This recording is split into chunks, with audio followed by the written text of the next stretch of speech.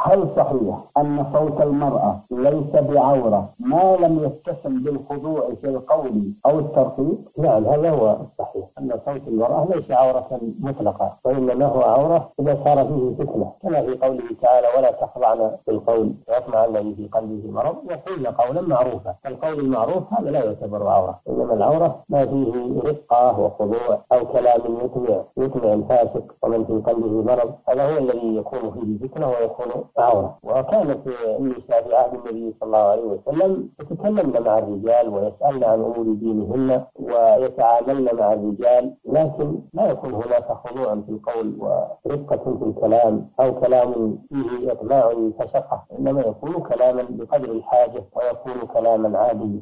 جزاكم الله خيرا.